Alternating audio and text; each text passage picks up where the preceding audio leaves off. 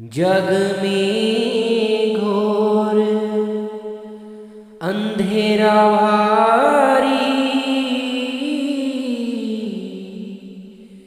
तन में तम का भंडारा। संगत जी बाबा जी ने आज सोलन में सत्संग फरमाया है।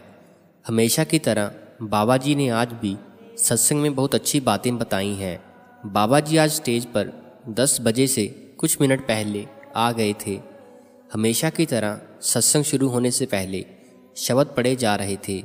संगत जी, बाबा जी ने आज जग में घोर अंधेरा, भारी शब्द पर सत्संग फरमाया है, जो कि हजूर स्वामी जी महाराज जी की बानी है। बाबा जी ने आज भी शब्द की एक एक तुक को लेकर अच्छे से समझाया है कि कैसे माया रूपी जाल ने इस संसार के जीवों को जकड़ा हुआ है। जीव अजान, भया परदेसी, देश बिसर गया निज सारा। स्वामी जी महाराज हमको परदेसी कहकर बयान करते हैं, क्योंकि ये हमारा असली देश नहीं है। हम यहाँ पर सिर्फ़ अपने कर्मों की वजह से फंसे हुए हैं। पता नहीं हमें कितने जन्म हो गए हैं, ऐसे ही भटकते हुए और दुख सहते हुए।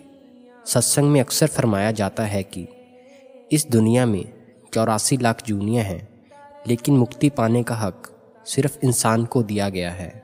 इसलिए हम तो अंदाज़ा ही नहीं लगा सकते कि मालिक ने हमें इंसान का यामा बख्शकर हम पर कितनी दया मेहर की है।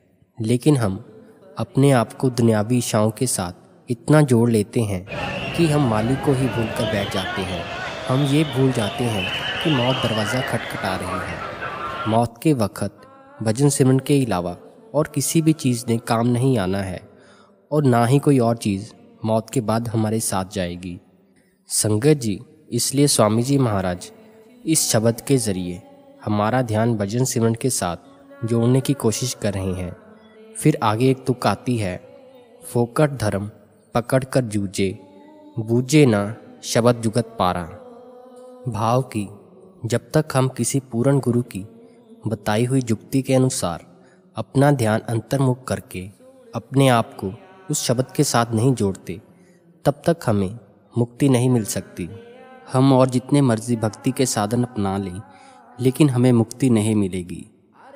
हम परमात्मा को पाने के लिए पता नहीं क्या क्या करते हैं, कितना अपने आप को कष्ट देते हैं, लेकिन अपने आप को उस शब्द के साथ जोड़ने की कोशिश नहीं करते।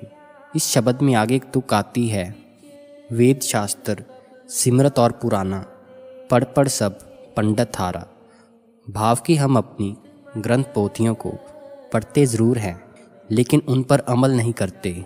पढ़ने से हमें केवल ज्ञान मिलता है, लेकिन जो असल सोजी है, वो सिर्फ़ अमल करने पर ही मिलेगी।